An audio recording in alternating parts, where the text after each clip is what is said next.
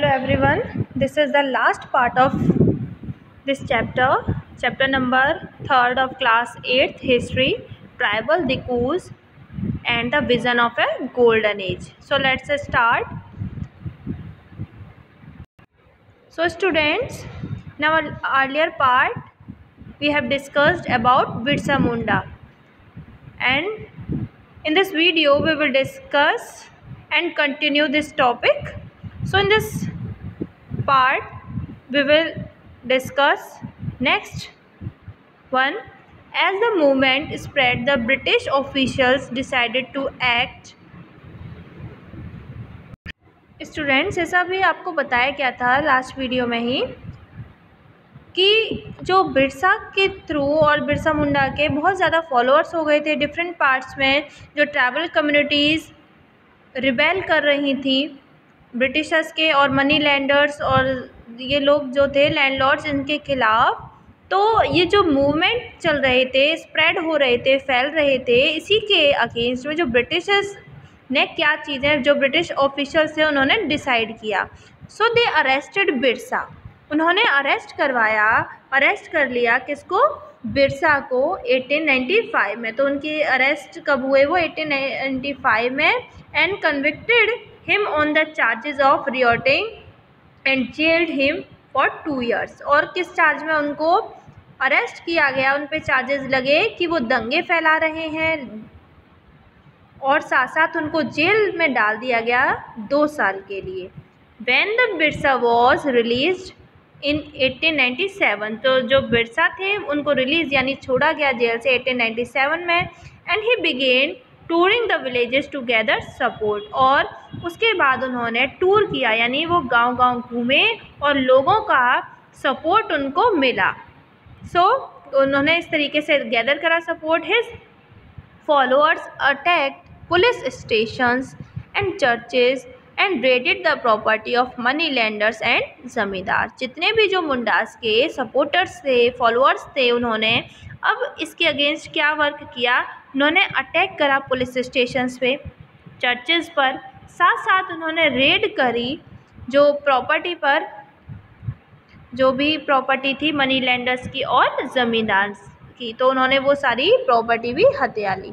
Now next is they raise the white flag as the symbol of Birsa Raj जो उस समय जो revolt हो रहे थे और इस तरीके से अटैक किए जा रहे थे, बिरसा के जो फॉलोअर्स अटैक कर रहे थे ब्रिटिशर्स पर तो उन्होंने अपने इसके लिए रेस करिए वाइट फ्लैग्स यानी जो अपने जो सफ़ेद रंग के फ्लैग्स को उन्होंने फहराया।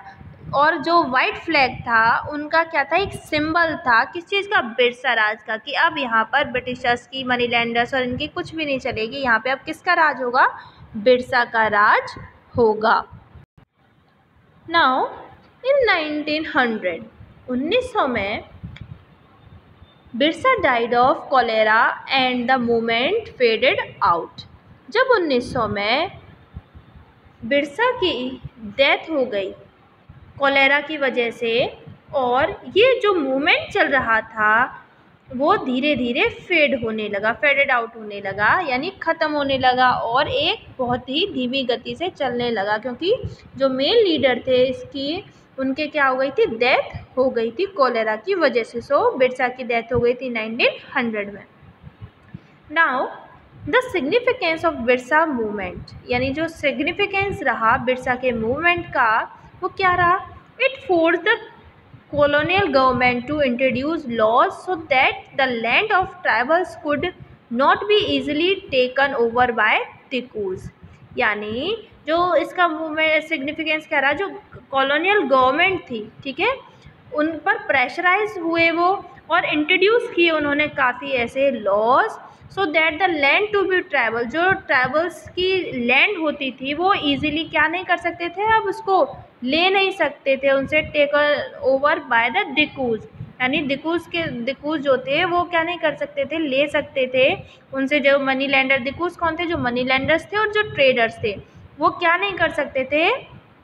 उनसे ये ज़मीन उनकी नहीं ले सकते थे। So it showed once again that the tribal people had the capacity to protest against the unjust and expense, express their anger against the colonial rule.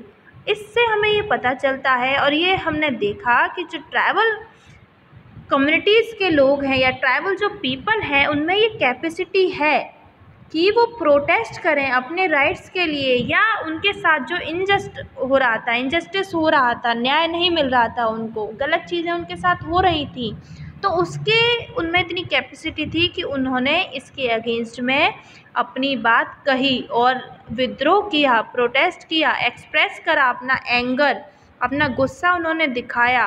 किसके against against the colonial rule किसके against जो colonial rule था उनके against उन्होंने अपनी voice raise की।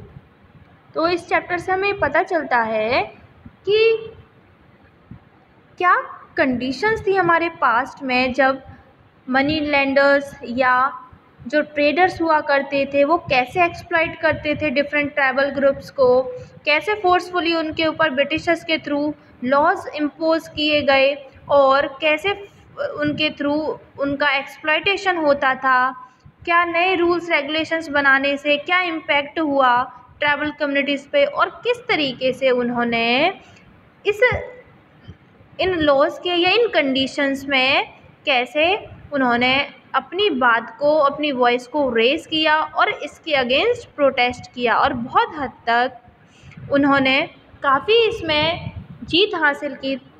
ताकि जो मनी लैंडर्स हैं या फिर ट्रेडर्स हैं वो लैंड उनकी फोर्सफुली ना ले सकें। तो इसीलिए हमको किसी भी गलत चीज़ के अगेंस्ट में हमेशा बोलना, अपनी वॉइस को रेज़ करना चाहिए। So thank you for watching